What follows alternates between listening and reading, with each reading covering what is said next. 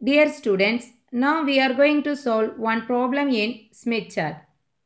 Determine the input impedance and standing wave ratio for 1.25 lambda long transmission line at the sending end with the characteristics impedance Z0 is equal to 50 ohm and the load impedance ZL is equal to 30 plus J 40 ohm.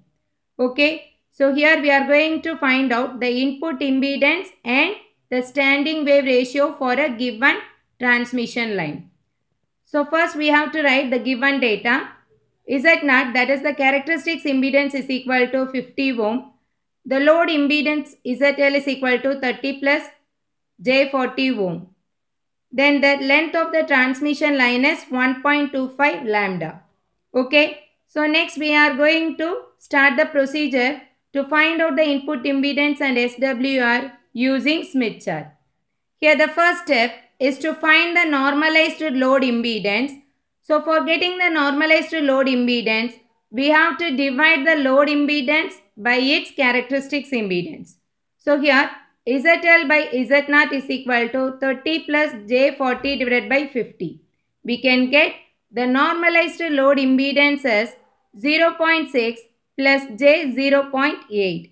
So here the normalized load impedance value is 0.6 plus J 0.8. This is the resistance value. This is the reactance value. Okay.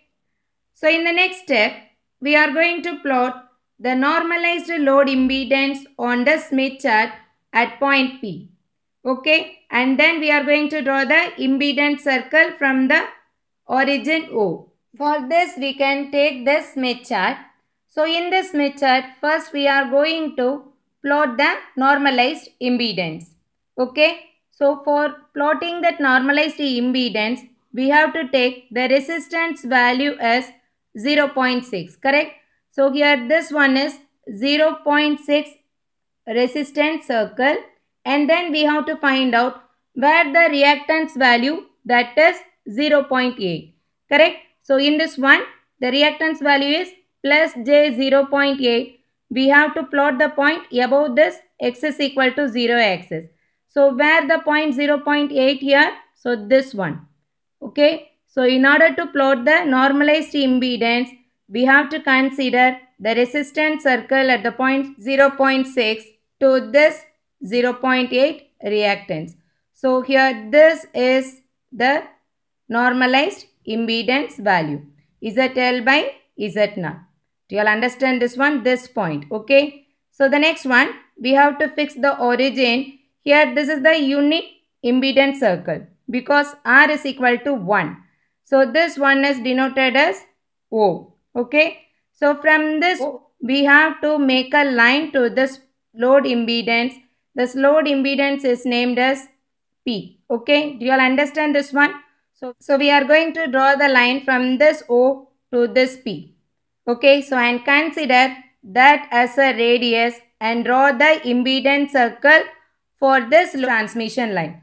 Okay. So here we can use the compass to draw the line. Okay. So consider this one origin and then this as a radius. Okay, then we have to draw the circle. circle. Okay, so once the circle is drawn, that is the impedance circle with this radius. In the next step, we are going to extend this line. Okay, so in the next step, we are going to extend this point P to the outside layer which represents the lambda. Okay, so the outside layer represents what? The wavelength value. Okay, so that is nothing but the length of the transmission line. We are going to extend this point P to P dash. Okay, so here it is in between 0.12 to 0.13. So in between we are having four lines. So each point is the 0.02 value. So it is in between the second and third point. Okay. Consider this value as 0.124. Okay. So this is the point from the origin to the load impedance. So load impedance is present at this length 0.124. Do you all understand this one? In the next step, it is very important. From this impedance circle, we can straight away find out the value of SWR, that is standing wave ratio. So, standing wave ratio is directly calculated from the intersection of the impedance circle and the x is equal to 0 line. Okay, we can straight away find out the SWR value as 3 from this circle. So in the next step, we are going to find out the source impedance that is input impedance. They have given the length of the transmission line that is 1.25. So in this one, this is the load point. From this load point, we can find out the input value. So here the length is what? 1.25 lambda. Okay. So we are going to find out the 1.25 lambda from this load point. If I am going to complete the entire circle that is represented as 1 lambda. So 1 lambda means the complete circle. So we are going to add only this 0.25 with this load impedance. So 0.124 plus 0.25 we can get 0.374. So from this one we have to take the clockwise direction where the 0.37 lambda is available. So here you can see 0 0.34, 0 0.35, 0 0.36, 0 0.37 and 4 means this is the point. Correct? So this one is 0 0.37, 372, 374. So this point, from this point we are going to draw. So this is the point. From this we can draw the straight line to the origin.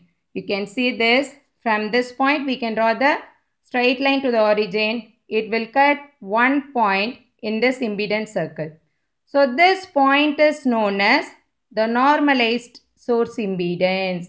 That means input impedance in terms of normalized value. So all the values are normalized in this Smith chart. Okay. So here how do we find out this value? We can take the reactance circle. So we can take this um, scale outside. You can see here. So this reactance value is, what is this value? Its value is 0.8. Correct? But it is in the downward. So we can say minus j 0.8. Okay, this one. And we have to consider this circle. Okay. So this circle value is what? 0.8. So we can say 0.8 minus j 0.8 that is nothing but Zs by Z0. It is very simple. Okay. So from this we can get the value of this input impedance by multiplying this value with this Z0. Okay. So it is very simple one to solve the Smith chart. Okay. So let's revise the steps again it is very simple. Only three steps are there. So first we have to plot the normalized load impedance. Then we have to make a circle that is called as impedance circle. Then we can find out the SWR value from the circle. And then we can extend this point P to P dash where we can locate the load impedance. If the length is given, we can take the source impedance from the clockwise direction and locate the length. From the length, we can draw the straight line to this origin. So the intersection of the impedance circle and the line that is nothing but the normalized source impedance. From this we can get the value 0.8 minus j 0.8. Okay. After solving all the values in Smith chart, we can come to this procedure and we have to write the SWR value as 3. Correct?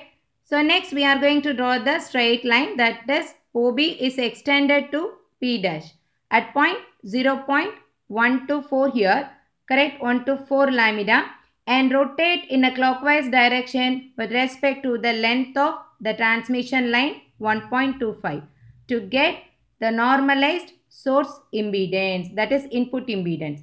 So here it can be located at the point 0.124 plus 0.25 that is nothing but 0.374 okay in the last step we are going to find out the input impedance From the Smith chart, we can get the value Zs by Z0 is equal to 0.8 minus j 0.8.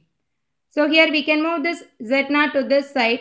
So we are going to multiply the given value with the characteristics impedance 50. Then we can obtain the input impedance as 40 minus J40 ohm. Do you all understand this one?